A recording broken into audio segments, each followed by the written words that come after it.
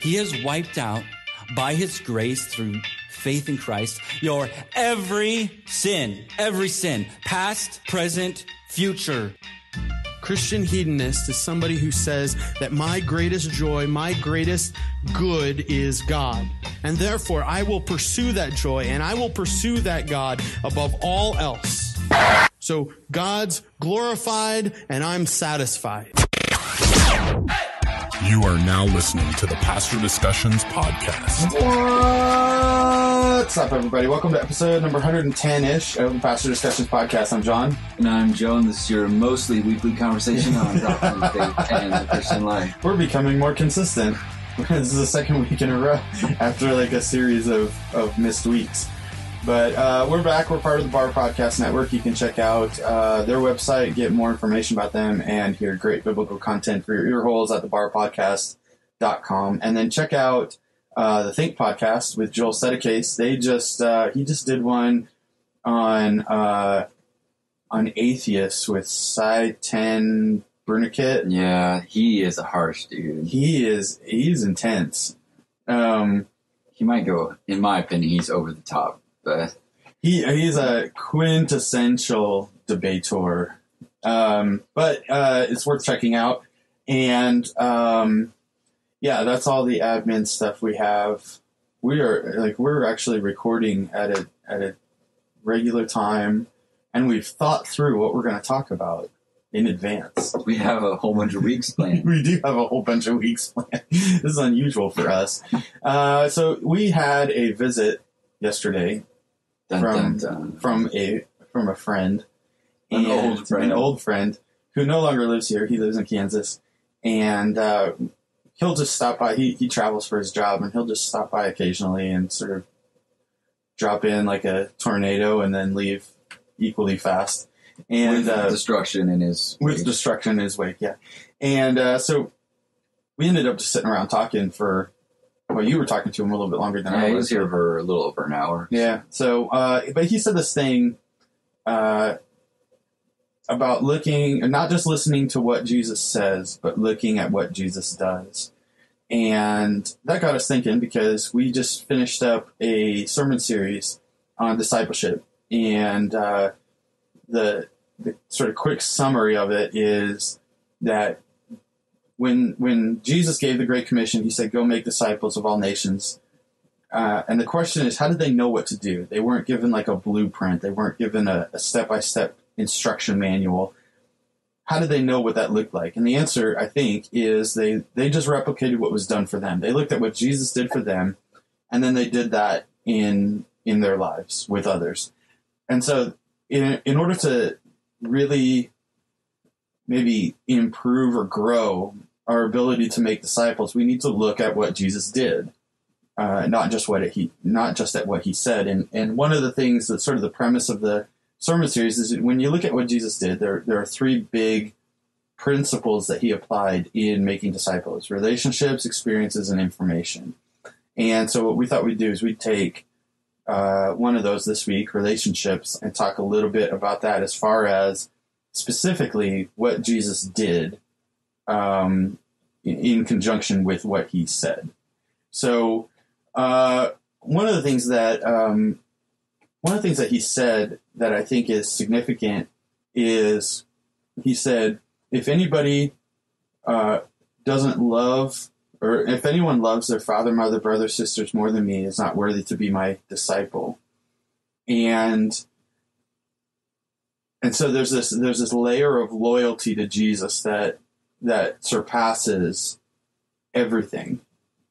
And when other people have that that layer of loyalty to Jesus that surpasses other loyalties, that sort of bonds people together and creates in us a relationship uh, just by virtue of the fact that we're following the same Lord. Yet at the same time, I think there, there can be some confusion in what that looks like. Because I think that there, there could be a misunderstanding or a misconception that we should have this really tight, close knit relationship with every believer in our church, sort of heralding back to the days of a church plant where there were just a few people and you're really close. Or just small churches in general. Yeah. They, that's that's kind of the expectation. So if you've been in a small church, you get to know everybody. Um, but what I still think that's even a facade too, because you feel like you know everybody, but it's just not. You, none of us have. Some have more than others, but none of us have the relational capacity to have Yeah. that many relationships and have them be close like that. Christ didn't even have it, and that's that's the. It's so funny. The church presses like how many church press small group ministries, Mhm. and while I get it, because I think people are acknowledging that we don't have the capacity to have relationships with however many people, whether you're in a church of 5,000 or 500 or 50 or anywhere in between, you only have so much that you can have close knit relationships with. So there's there's a an understanding of that, but at the same time, it's almost this forced thing, right? Right. And and so I want to attack that here in a minute, but I, like just to get back to what you're talking about, Christ. The the reason we're going to talk about like let's look at what he did. So what did he do? So he picked twelve guys, and this was something that uh, Gabe brought up yesterday. This the guy that visited us. Um, and then out of those 12, he had a, a closer relationship with three. So he has a close relationship with 12. Mhm. And then he's got a, a closer relationship with three, and then an even closer one with one. Right. So did Christ play favorites? Did he neglect others? Now he didn't he didn't neglect the crowds when they came or Right. the other people. He knew he had relationships with Mary and Martha and Lazarus, right? I mean, Mm-hmm. we've got these these other characters that he's got relationships with. Yeah. But the ones that he's spending his time He got with, invited to a wedding. yeah. and the but the ones that he's spending his time with, the ones that he's investing in, the one that he's close with, Yeah. it's a small number. I think it highlights the importance of relationships don't have to be with everybody. Like the yes, same relationship. right? The Doesn't have to same. So, so Yeah. you you said this quite a bit, and I've ripped it off quite a bit, and in the conversations. but there's levels of um, relationship. So you're going to have really intimate, close, but you only have so much capacity for that, and you only have so much time for that because that takes time and it Yeah. takes investment.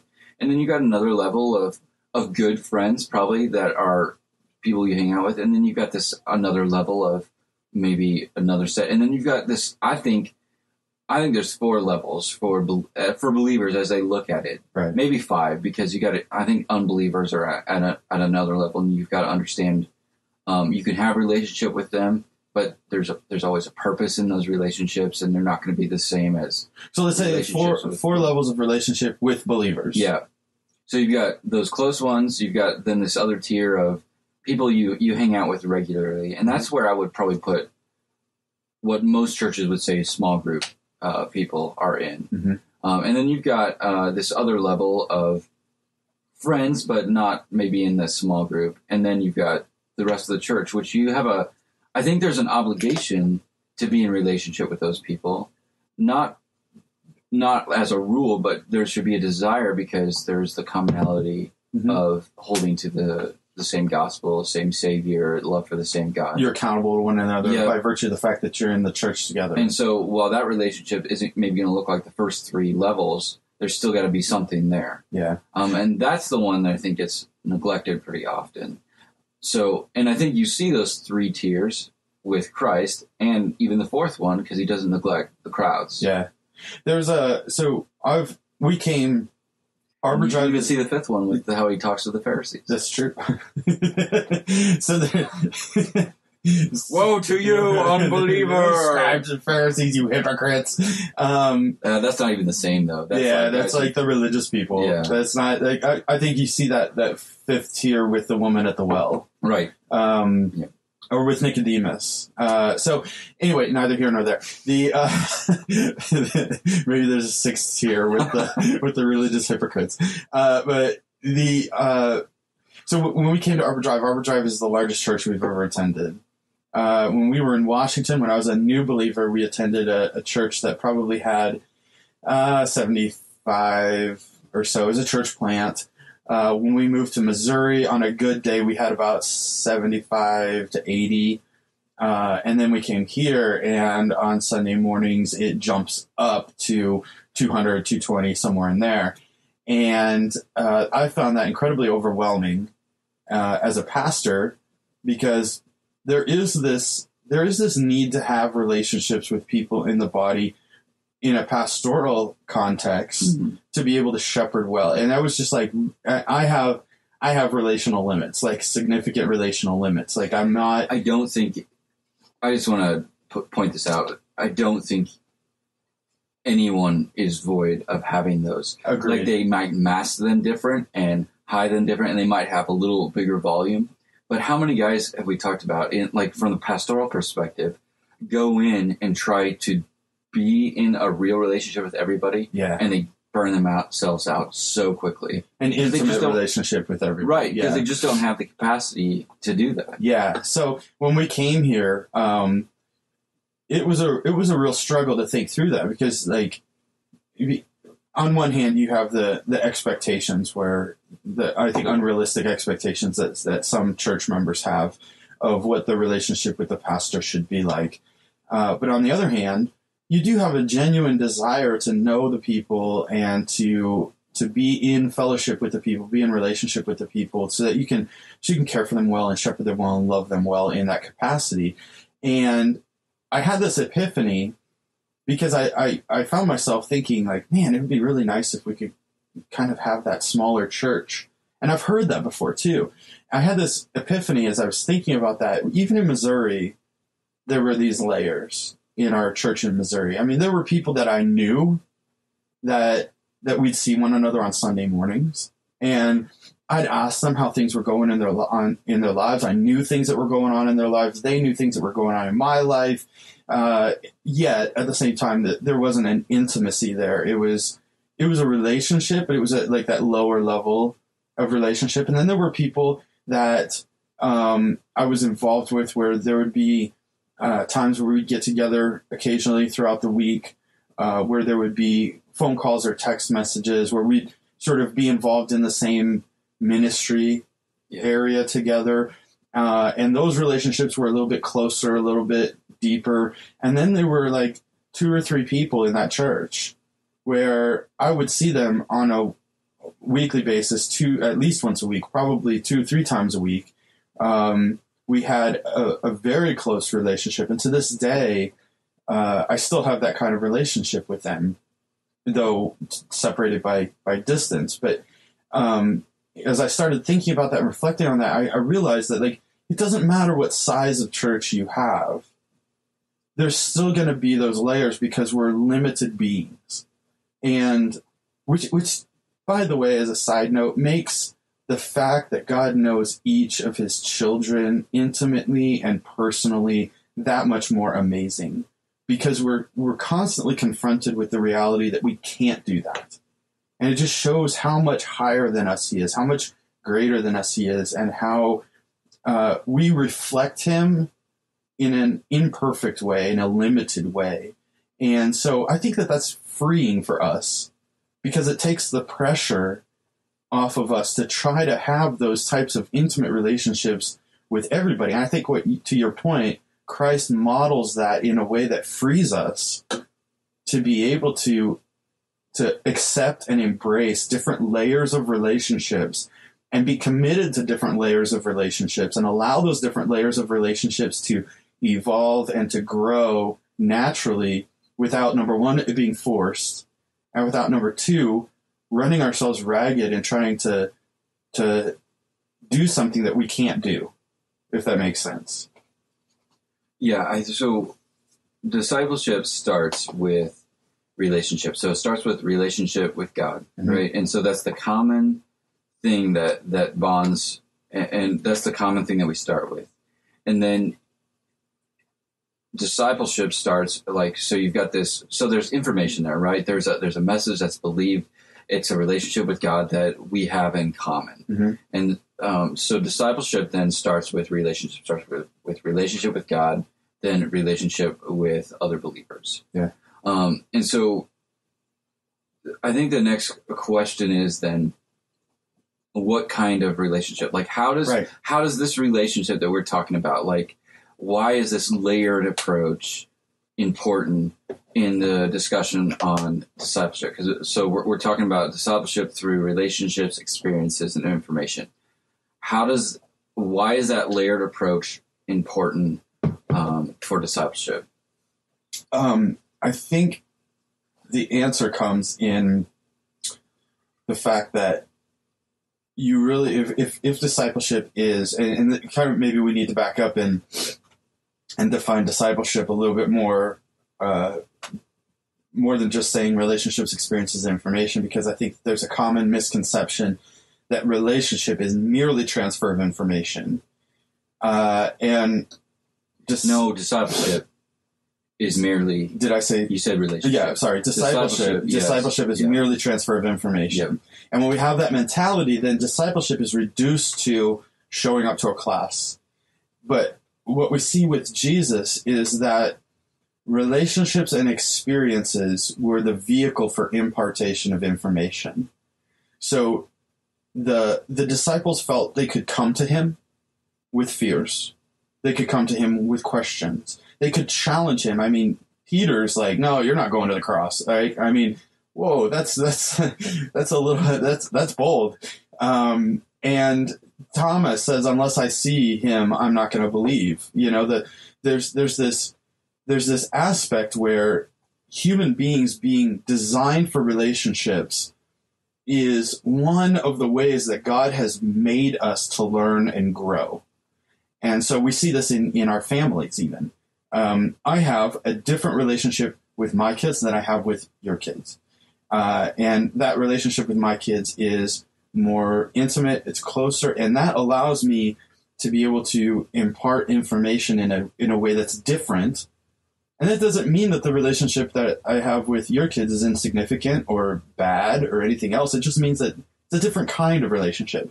And so relationships are important to discipleship because relationships are one of the three vehicles by which we grow as Christians. The relationships provide accountability, relationships provide encouragement, relationships provide opportunities for growth through observation and through emulation.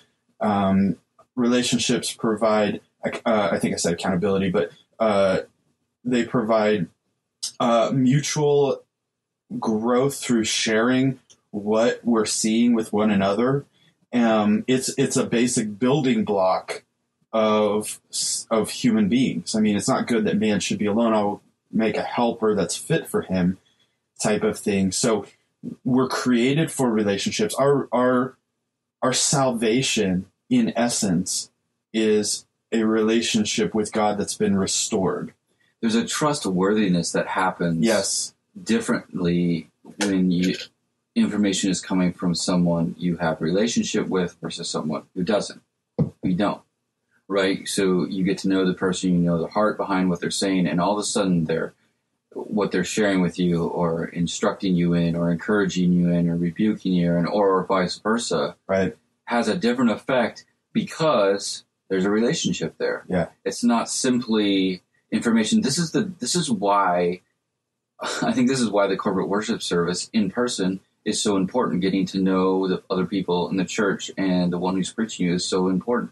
That's why you can't emulate that watching on a screen. Right. Is because uh, there's there's a relational aspect to preaching and singing and praying in the corporate service that is missing, um, and we instinctively know this, but we don't always recognize it uh, in in the time that it's happening. So, like, I think there's a, I think the impact of the information is far greater, which is why it's so, why the relationship is so important within the within the structure of a relationship with one to another. two things on, on that too. Like when you when you were saying that relationships require personal contact, right? You uh, this is this is where social media has really warped our view of relationships because you can have friends that you've never met on social media. Well, I Um, was even thinking like along this vein, like your friends in Missouri, like why is it that there's a longing to be together? Why is it that you'll take trips down there to go see them, and they'll Yeah. take trips up here to come see you, and not just be on the Or phone FaceTime. or FaceTime. Yeah, because we want to be right. together. There's a togetherness Like, aspect. That's what I'm of- saying. We we I think this is built into our DNA by God that we would be with one another, but we know these things. Yeah, And yet we don't always grasp that piece. yeah, and we can have. I mean, you can have some kind of relationship with somebody online, right? I mean, like I, there are guys in the cohort in the in the practical shepherding cohort, the revitalization cohort, that I have a relationship with, using air quotes, and and it is a relationship. It's like we know of one another. We are able to encourage one another, but it's so limited because it's online. We Yeah. haven't met in person. Now, when we were when we were going to have the when we were, when they were going to do T4G, one of the things that that we had talked about is uh, Croft is in Louisville. We're going to have a, a gathering, a get together, so we could actually meet one another. And why is it that we why is it that we wanted to get together and meet one another? Uh, because we all understand intuitively that a relationship that doesn't have personal contact and personal knowledge is extremely limited. So, to your point of why we gather together, part of the reason we gather together is to foster and encourage and, and grow those relationships. The second thing off of what you were saying is uh, relationships allow us not only to know the heart of the person that's that's telling us something, but they also allow us to know the heart of the person that we're telling something to. So I know that I I have to talk to my wife differently than I would talk to my parents on on certain things. And that's because of relationship. Like you understand one another, you get to know one another on a deeper level and it allows you to be more effective in communicating truth because you understand like if I say it this way, they're going to take that the wrong way. I need to maybe take a different approach with this.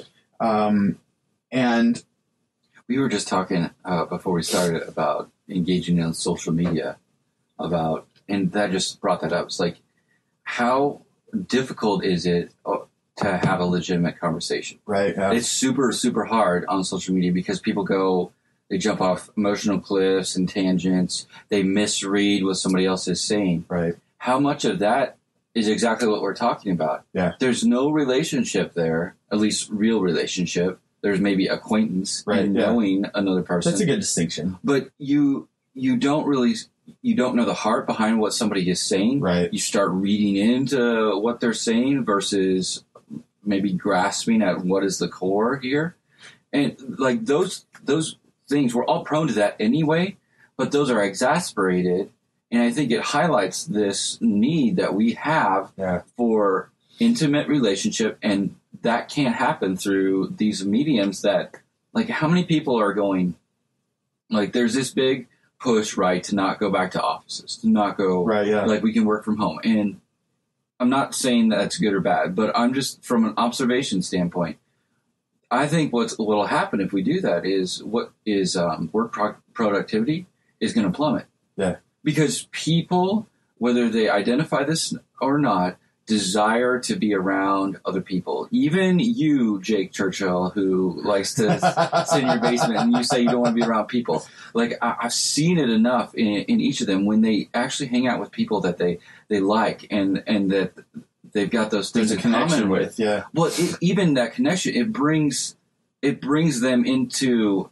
it it, it lifts them up out of this funk or or the way that they they normally are and they think they are and maybe they don't even realize that it's happening but something different happens and, and i've seen it happen again and again and again Well, and how much of how much of our growth happens through conversations that don't even start out talking about a specific topic that we end up talking about. yeah Right? So like take take the workplace environment. Like how much creativity is sparked through conversations with people that you know. Um, where you where you go in and, and you sit down and, and you're talking about something and somebody has an idea and and then how much of that how much of that communication mis or miscommunication or mis misrepresentation or misunderstanding of what somebody's saying happens because so much of our communication as human beings is nonverbal. So the the the fact that we need to be together in the same space to be able to, to Is- recognize that communication is accented by the fact that we communicate so much non-verbally Mm. and we don't even recognize it. Like I, um, so when I was taking a, a preaching course, uh, one of the things that that they talked about was, you know, uh, I think about, I think it's thirty percent of communication is verbal, and seventy percent is nonverbal. So in other words, the the point was like the the voice inflection, the hand gestures, the things that you do naturally as you talk, the eye contact, the the way that you respond when something is said, or the way that you respond when you say something, communicates, and that's a big part of how the hearer receives. And so even in relationships, even if you're even if you're talking about about discipleship relationships and and being able to communicate truth, how much does that highlight the importance of in-person relationship? And that's what Jesus does. He just spends time with these guys. I mean, he's got his 12 that are that are following him around all these places that he goes. He's got the three that he takes to the Mount of Transfiguration and and things like that. And then he's got these times where he's just talking to Peter, or he's just talking to John, or you know, John and James are lounging on him. Uh, and and so all of these things indicate relationship. I mean, the the connection between Jesus saying, uh, "You'll deny me three times," and the end of the Gospel of John, where Jesus says, "Do you love me? Do you love me? Do you love me?" That's a relational connection. He's highlighting the relationship. Um, he's highlighting, "I love you. Do you love me?" And he's like, "Lord, you know I love you," and he says it three times for a reason to, to solidify in in Peter. I mean, that doesn't happen through non-personal mediums, if that makes sense. Right.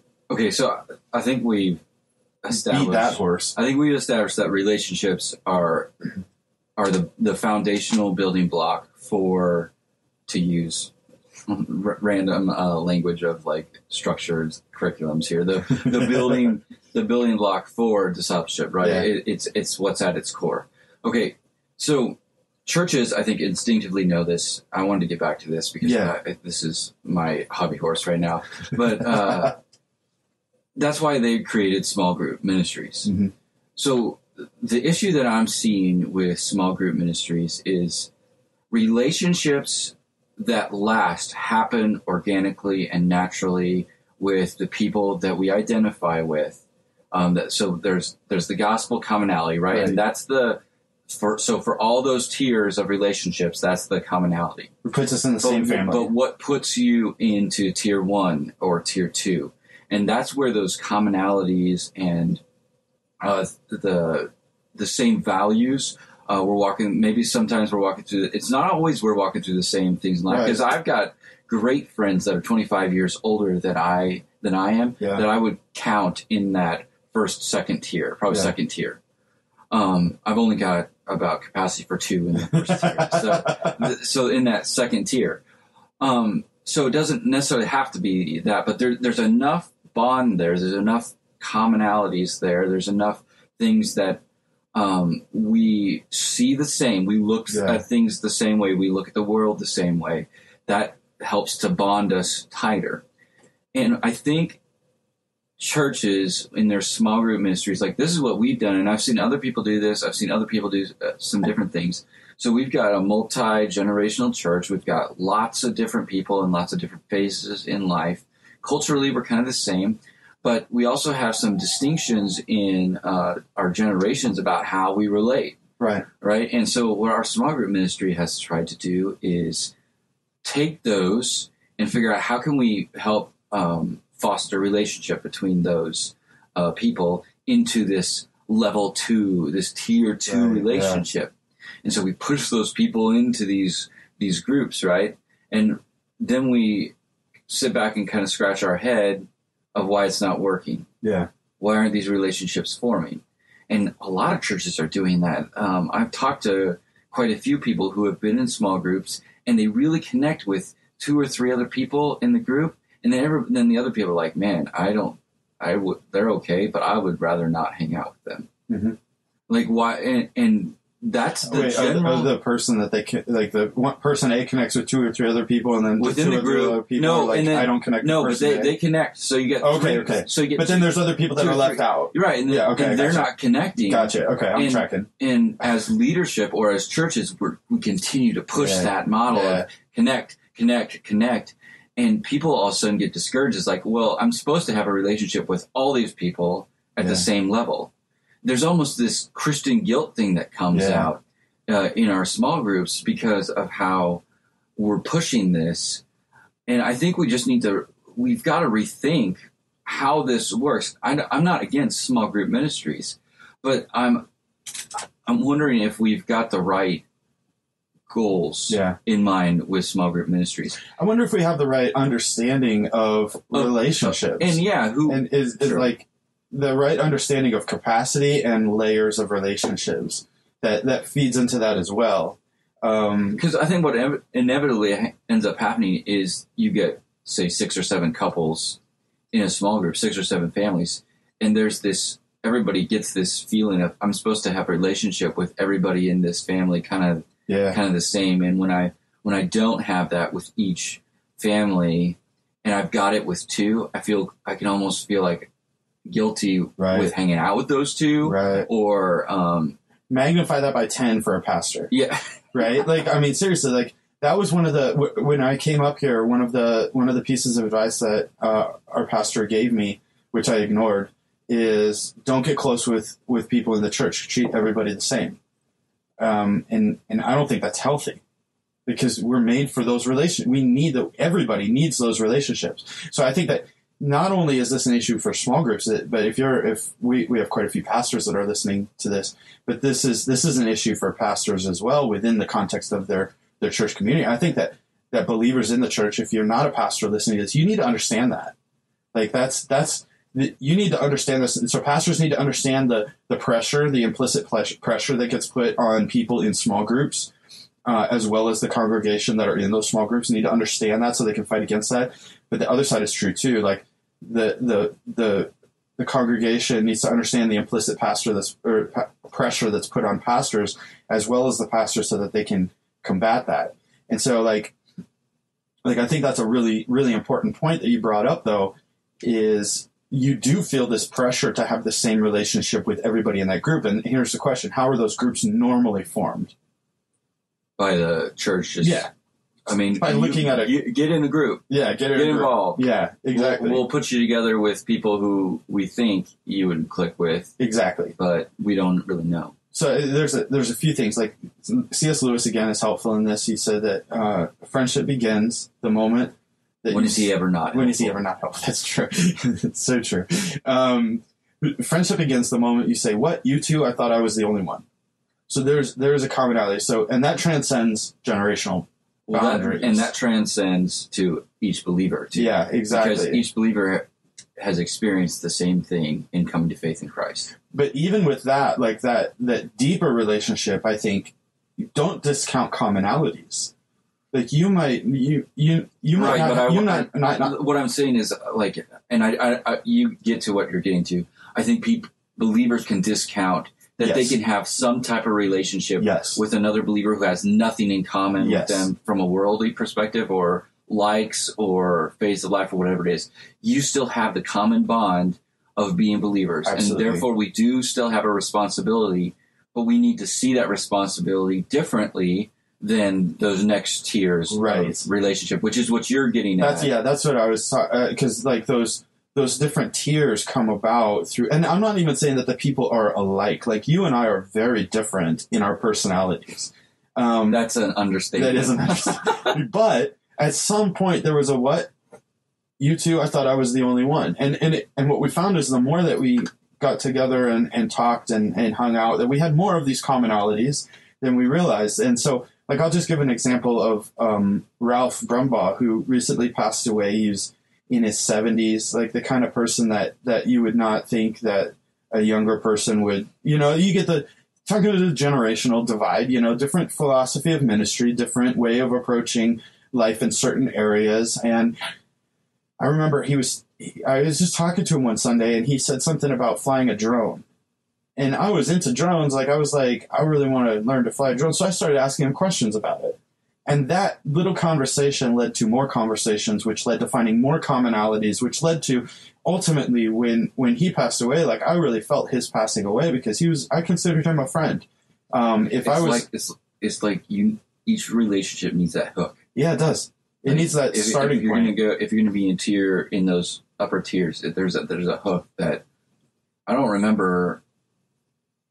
I don't remember what what ours, either. ours was. It was Gabe. It was Gabe. That's like it probably was because it was the first time we actually had a real conversation. He was here. yeah. Um, but so there's there's that right. Um, but then if you take it a step further from that, that means that there's a responsibility for everybody to be willing to have those conversations. So I think one of the biggest barriers, like, so you talk to people that are maybe like, I'm not really connected in a church, or I'm not really, con- I don't feel connected. I don't feel like I have relationships in this church, um, in whatever church that is. The question is, have you taken responsibility to try to foster that? That's number one. Number two is, are there other people in the church that feel that responsibility to foster that as well? So it starts with the person you sit next to. It starts with the person that you run into when you when you come in the door. It starts with the person that you're standing in line with while you're getting coffee or whatever that is. Uh, there's all these opportunities for these little seemingly innocuous conversations that might lead to something else. And I think what so often what we do is we limit ourselves either through our own introvert tendencies or through the relationships that we already have where we don't look for new people or we don't notice new people. Um, and and that and, and what we like to do is we like to play the blame game and say, well, this isn't a welcoming church because so and so or nobody came up and talked to me. Okay, well that might be true. Okay, maybe nobody did come up and talk to you, and maybe that should have happened. Let's let's grant that for a moment. The question that I always have is, did you go talk to anybody? Yeah, I think that that's a, a great starting point. I also would I think we're getting close to our running out Do we have a here. time I don't know. anymore? I, I think the other thing is in this, I would say two things. Um, we need to understand that relationships are the beginning of discipleship. That's that's the whole point. But we also need to understand that you're not going to have the same relationship with everybody, and other people are going to have different relationships with different people. yeah, Don't be jealous of that. exactly. Don't en- be envious of.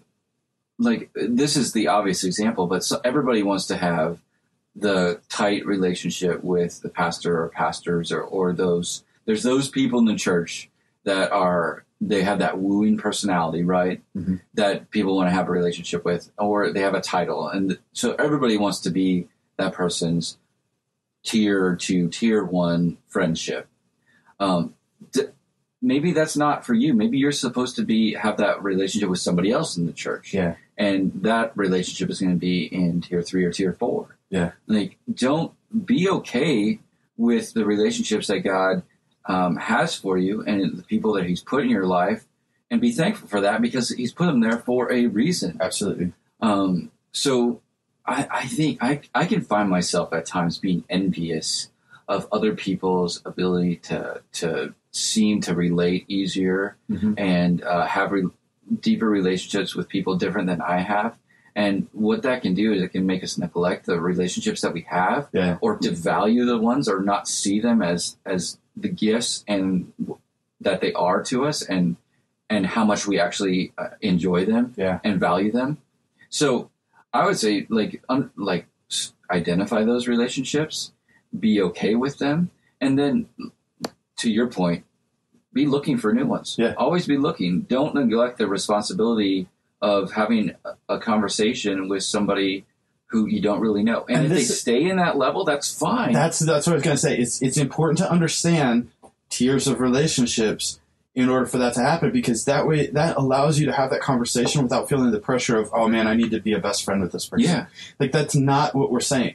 We're saying that like that if that that the best friend thing starts with hello. It starts with a conversation. Not every hello has to Exactly. elevate to that, Exactly. that level. And the the excuse me, the Rona. The uh the other thing that I I wanted to just throw in there real quick is understand that there's different time investments for different tiers. Right? So tier one relationships, tier one relationships, so like so cold and mechanical. Uh, Well, like, how do you explain I it know. so people can grasp it? Because REI is cold too. Yeah. Relationships, experience, information, and you put a graph up there. yeah, I did put a graph up. But people need something to, to grasp to, to get this, and I think like looking at those. I tiers are agree. like- I agree. So tier one, if you're if you're if you have a tier one friend, there's gonna take it's gonna take a significant more it's gonna take significantly more time to that, for that friendship to get to that point yeah, than it takes for the tier four relationship. So you can sustain a lot of tier four relationships.